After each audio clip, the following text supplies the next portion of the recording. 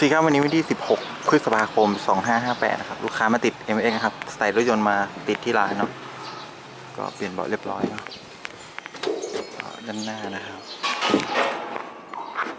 เดี๋ยวก็ไม่มีอะไรมาก เดี๋ยวสั่งสตาร์ทที่รีโมทให้ดูนะครับ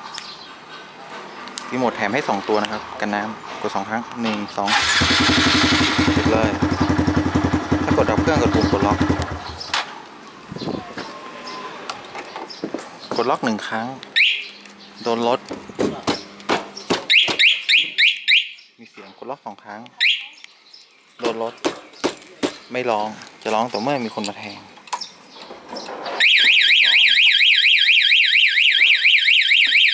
ก็ราคาพันสามนะครับ มีสามสาขานะครับ มีห้วยขวาง แถวดินแดงนะแล้วก็แถวสมุทรปราการ แล้วก็